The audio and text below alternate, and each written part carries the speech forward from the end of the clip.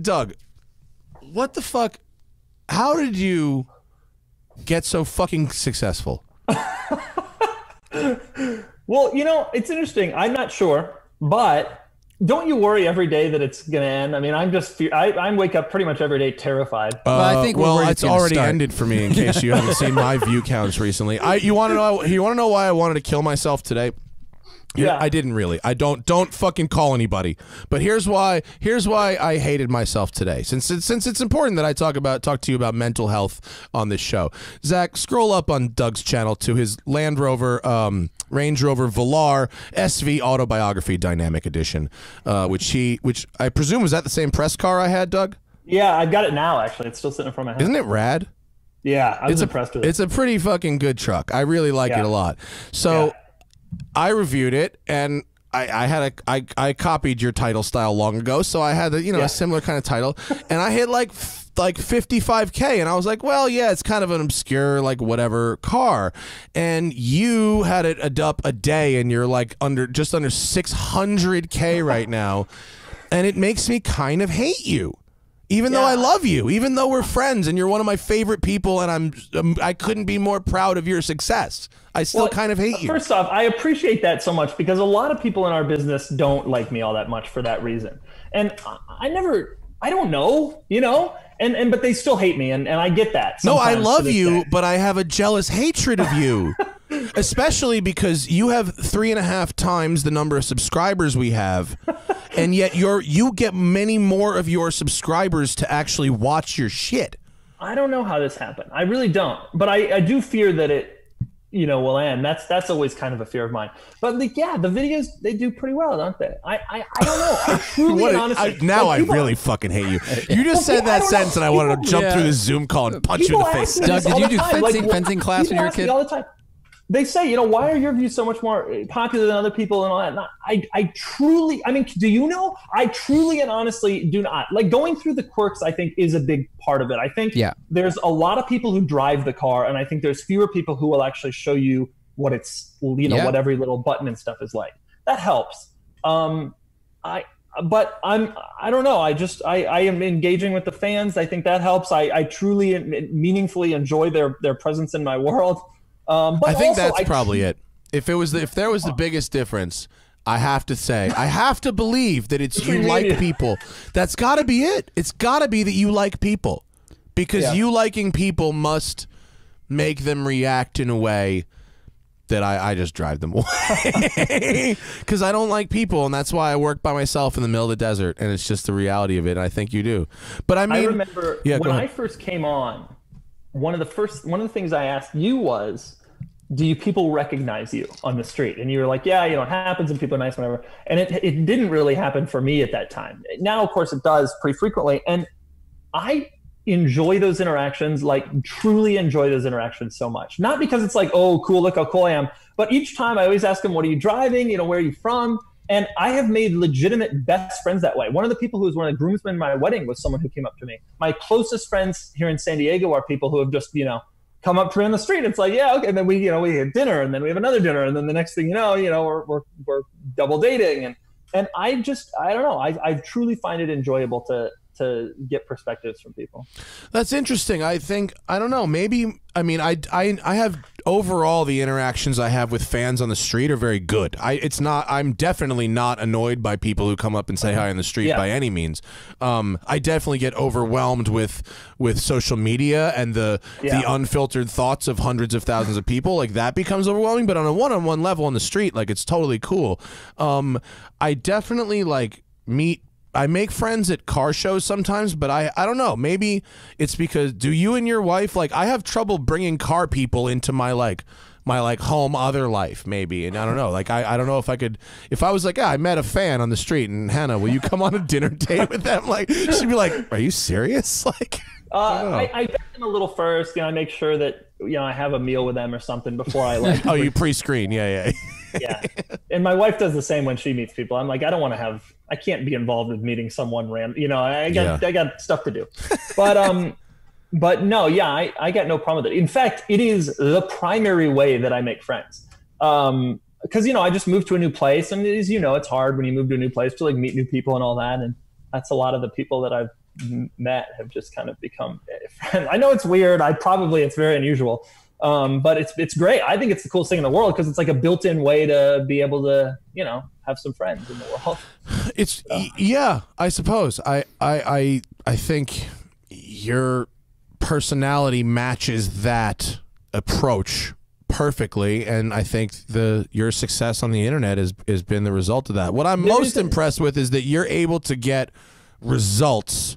Like like for instance, like I my the results of my videos are I've been operating under the the the the the, the credo that the metal drives it, right? Like there's this Right. many people that know who I am, okay? And if I drive something that a lot of people want to see, a lot of people will want to see it. And if I drive something that is fucking off the wall, weird, not SEO good, then less people will watch it. And what I've been most impressed with with you is you managed to drive a lot of traffic to cars that I think would typically be SEO poison and it's not just a catchy title. It's cars that people are genuinely not searching This for. is an And- Audi- Oh boy. And and what is it about your approach that allows that tr- yeah. the traffic to be That's a- driven those kind a of really cars? That's a really good question. That's and I think I wonder about that too. You know, and I kind of try to push the envelope. I filmed that Oldsmobile silhouette, and I was like, "Are people going to watch this?" Toyota Previa, and the answer is, I love a Previa. They're the best. People actually watch that stuff. I think one one big thing also that I've always kind of felt is a reason that it's been relatively popular is that I this is a very sincere one for me is that my videos appeal to both car people and non-car people. Mm-hmm. The greatest compliment I get when people come up to me on the street or when they email me is, "Hey, I'm not all that into cars, but I watch all of your videos." And to me, that's like, wow, if I can actually get someone into this, even though they're not into this, that is a proof that you're doing something right. And now, a lot of really, really pure car enthusiasts who are really obsessed with especially mechanical stuff don't like me for that reason. I'm too generalist, they say. Um, but the result is that you get a bigger piece of the pie. And I think that's why Top Gear was so successful too. Yep. You didn't have to be into cars at all to enjoy Top Gear. And in fact, it became the most popular television show on the planet. I think the And- more you were into cars, the more you would be able to pick apart Top Gear and complain about it. Yeah, that's 'Cause they exactly have a- right. There's not That's there's exactly not a ton right. of authenticity in that show. But- actually, But you know, I can get you what you want. I put up a video on the Rolls Royce Phantom. People want to see that, cars or not. They want to see those curtains. You know, Yeah. like that's that's something they're interested in, and I Well, think that's a that's a big component. because so many people aspire to own a Rolls Royce, even if they're not into cars, Exactly. because it's a status symbol. Absolutely. and they think to themselves, "Why is that car a half million? What does that car have that my car doesn't have?" You know, well, that And was then- that was some gold you you had when you were like, "This is why this car is worth this much money." I mean, it's, I Yeah, mean, the title's brilliant, but also it's like people go, "Yeah, why is that worth so much money?" And they're gonna go click that, and they're go, "What the fuck? What kind of door locks does this car have?" Because my car has door locks Right. too. Yeah. Ex- exactly, and that's the thought. It's like, wait a minute, this is this Rolls Royce is five hundred thousand dollars. That was a great idea, although I don't use those titles anymore. That that got played No, out. I'm now you're in a fucking. Now you're showing off. Your titles now. Every once in a while, I see one of your titles, and I go, "Oh, he's just showing off at how many views he can make with this stupid ass title." Yeah, well, I do get accused of clickbait, even still, even no, with fairly. clickbait it- that doesn't end in a question mark is not clickbait, Doug. That's That's so true. I do get accused, of, and so sometimes I'm just like, you know, the the Porsche Cayenne is a hundred thousand dollar luxury SUV. Boom! You can't argue with that. That is not clickbait. I, I know. is. That's that's when I laugh and I go, "Oh my god, this motherfucker's gonna get a million views in this lazy ass title." Just fucking. let me just read off the fucking price tag in the title, Doug.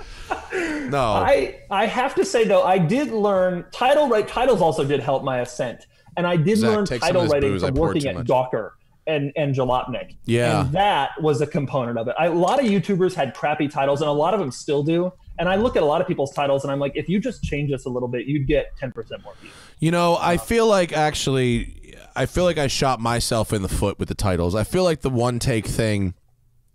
If you know what it is, you know what you're getting. But in terms of reaching new people, and actually, I think you hit on something that I just learned a lesson. I think you just taught me something, Doug. yeah. Well, no, you didn't just teach me something. I just think, like usual, you verbalized it in a simple sentence, which is that you found a thing that they want, Yeah. whereas with my show, I am selfishly doing the thing that I want.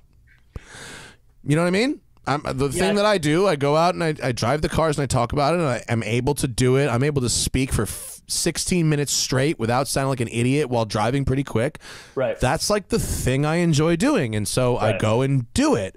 And so, and yet you are going, well, what does the biggest group Right. of people possible want to see? Right. Well, but Doug, but Doug, do do you enjoy the the content you make? Like, is this what you? This seems like this is what you like about cars is I knowing do, it is. like I you're not like the little yeah. stuff, but but there is a, there is some truth to that, and I'll give you an example. I when I did the C8, I was in Vegas like everybody else, and I, I got that car, and they gave one to me for six hours, and everyone else would have driven it for five hours and forty five minutes and just bombed around. I parked it in a parking lot for five hours and filmed it and didn't touch it, and didn't not touch it, didn't move it because I was shooting all the little quirks and all the little here's what this button does Yeah, and like that. yeah. And I only got about forty minutes of driving.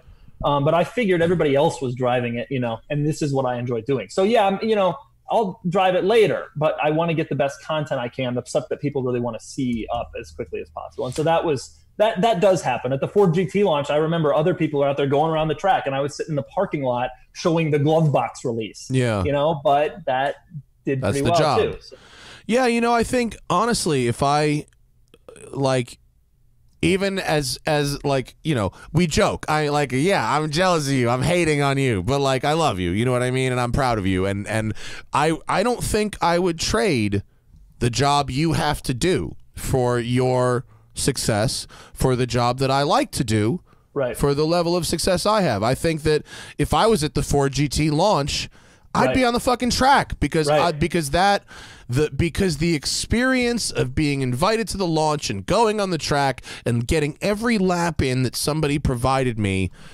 to me would be maybe that's selfish, but it would be more valuable than doing what you were doing, even if I, don't knew your success was the other end. I don't think it's selfish at all. I think I think that that's probably the correct way to like. That's what all of our viewers would do. You know. Yeah, yeah, yeah, probably, yeah.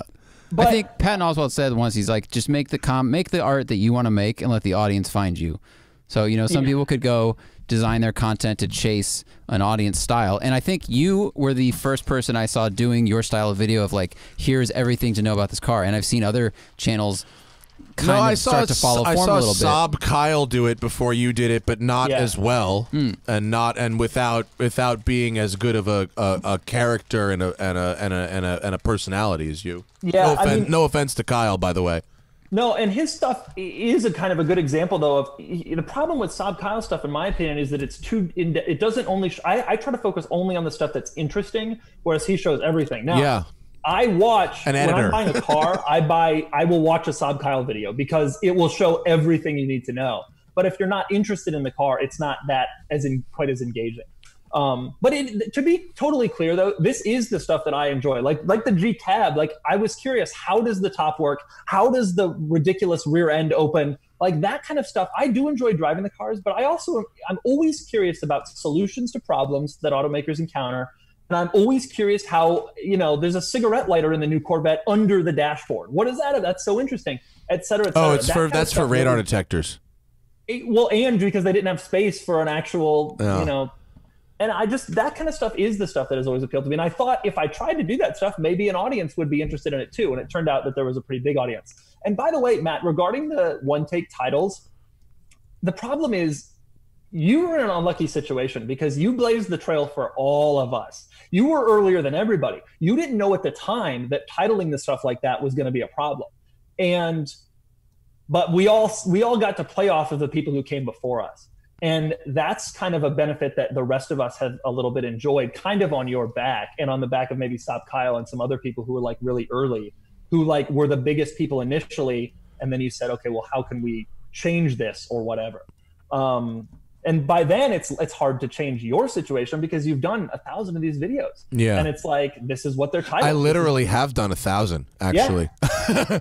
the ones that have done the best actually. If I if I'm to toot my own horn at all, and I beat myself up a lot for for every little thing I don't do, but if I did something well, it was I decided to make a lot of videos with cars that came out before YouTube.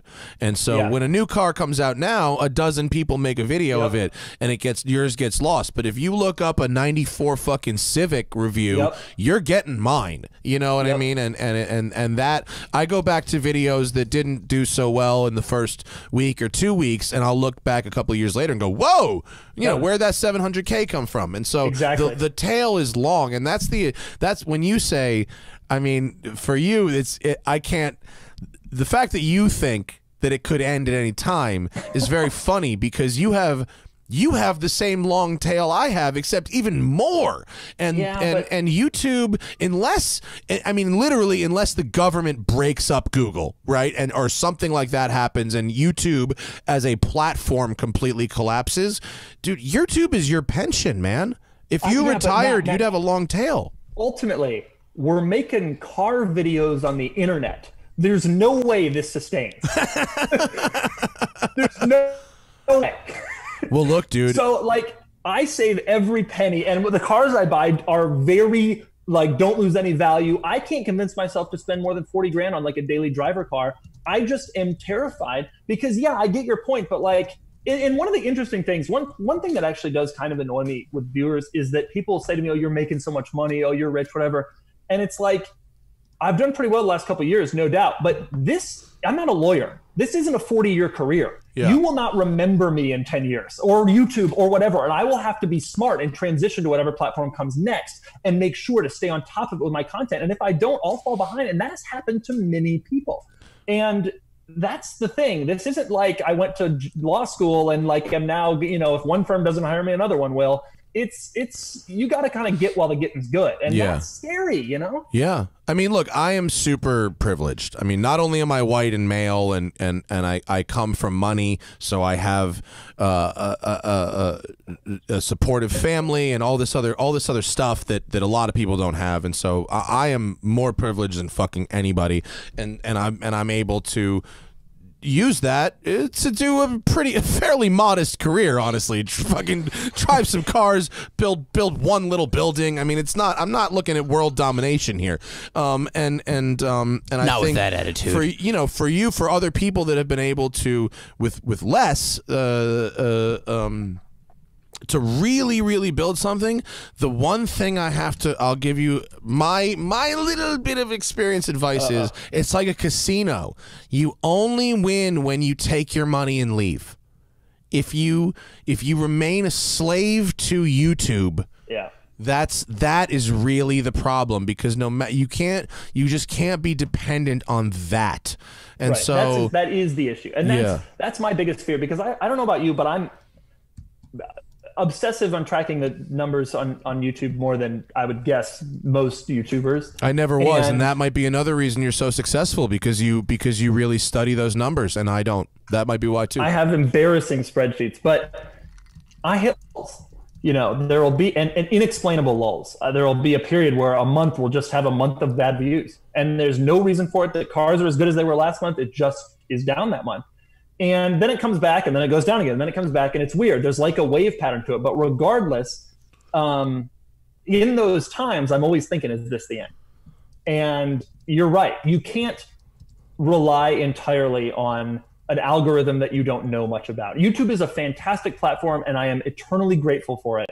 But it's a little tricky to be able to, to base your entire life and your decisions Yeah. and your house purchases and kids schooling and and everything on is this going to continue in a year or 5 years or 10 years.